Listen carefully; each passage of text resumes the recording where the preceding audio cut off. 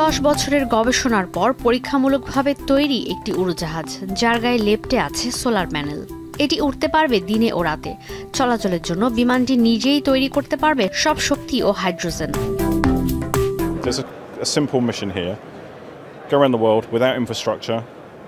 With solar power, with a flight crew of three, to really prove that our new digital and engineering and manufacturing technologies can allow us to transfer or transform into um, electrification.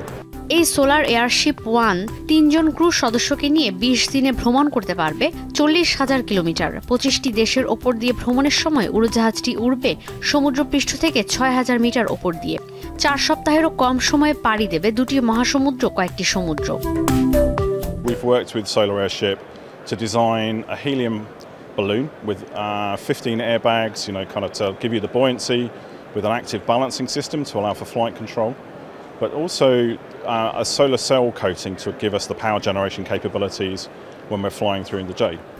এটির দৈর্ঘ্য একশো একান্ন metre উড়োজাহাজটি তৈরি হয়েছে জীবাশ্ম জ্বালানি ছাড়া শূন্য কার্বন নিঃসরণ করে চলাচলের লক্ষ্যে বাহ্যিক চাপ আর অভ্যন্তরীণ তাপমাত্রায় সামঞ্জস্য রাখার পাশাপাশি বৈরী আবহাওয়ায় যেন চলাচলে কোনো সমস্যা না হয় বিমানটি সেভাবেই তৈরি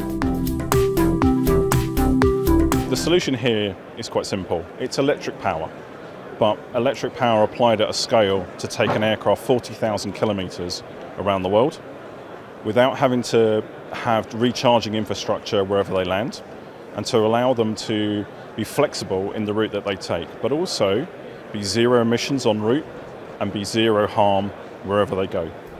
এই বিমানের শক্তির উৎস উড়োজাহাজটির ওপরে থাকা চার হাজার আটশো মিটারের সোলার ফিল্ম দিনের আলোতে এই ফিল্ম থেকে বিদ্যুৎ তৈরি হয় উদ্বৃত্ত জ্বালানি ফুয়েল সেলে জমা থাকে যা দিয়ে হাইড্রোজেন তৈরি হয় উড়োজাহাজটির গায়ে পনেরোটি গ্যাস প্রতিরোধী আবরণ রয়েছে যে কারণে এটি সব আবহাওয়াতেই উঠতে পারে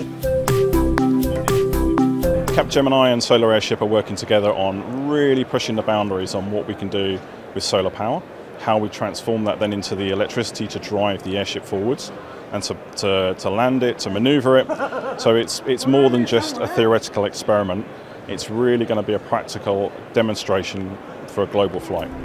Crew সদস্যদের লক্ষ্য আগামী প্রজন্মের প্রকৌশলী আর বৈমানিকদের উৎসাহ দেয়া। এই উড়োজাহাজটি তৈরি করেছে ক্যাপ জেমিনি ইঞ্জিনিয়ারিং সহ বিশ্বের আন্তর্জাতিক প্রকৌশলীদের দল।